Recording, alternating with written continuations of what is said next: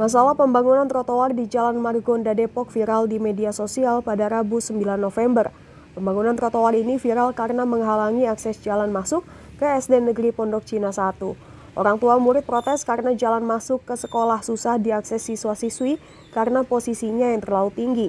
Terkait hal itu, anggota DPRD Kota Depok, Babai Suhaimi, meminta agar trotoar di depan SDN 1 Pondok Cina ini dibongkar dan diperbaiki lagi.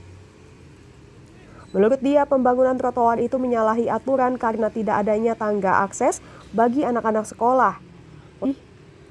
Politisi PKB ini menambahkan ada banyak warga Depok yang tidak setuju trotoar di Jalan Margonda dibangun seperti model yang ada saat ini. Pantauan Tribun News Depok pada Kamis 10 November, tangga akses masuk ke SDN sudah dibuat oleh pelaksana proyek. Tangga akses dari sekolah ke jalan ini sebagian berupa jalan miring untuk memudahkan kursi roda bagi penyandang disabilitas. Trotoar menutup akses jalan ini. Ini juga sangat disayangkan.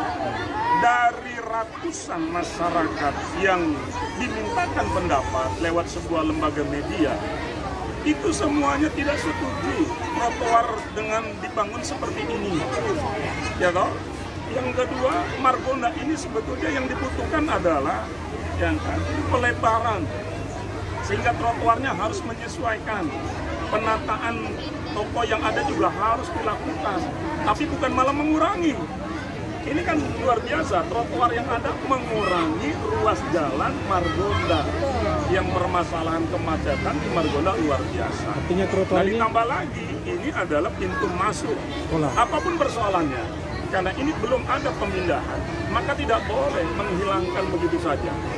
Terakhir saya melihat ada surat dari wali kota untuk penghapusan aset.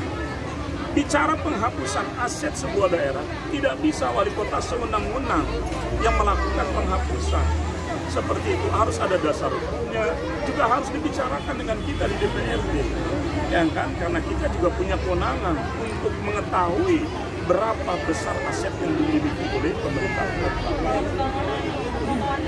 sikap dewan gimana bang? Apakah minta dibongkar atau gimana ini? Ya, itu jelas karena begitu banyak, ya kan? Dan bicara tentang pembangunannya secara keseluruhan tentu kita Dewan tidak mengetahui. Tetapi ketika ada hal kejadian seperti ini, tentu Dewan bersikap. Salah satunya, ya kan, jika memang tidak ada kesepakatan SD ini pindah, maka ini harus dibongkar. Harus disesuaikan dengan kebutuhan bagi anak-anak yang masuk sekolah di sini. Kecuali ini tidak ada. Sekalipun masjid dibangun masjid tetap menyalahi trotoar. Harus dibongkar juga. Ini saya nggak habis berpikir di mana ya kan? Apa itu konsultan berencananya dan juga pihak dinas terkait. Kok trotoar yang notabene ini akan dipergunakan menjadi lalu lintas masyarakat dibangun seperti itu.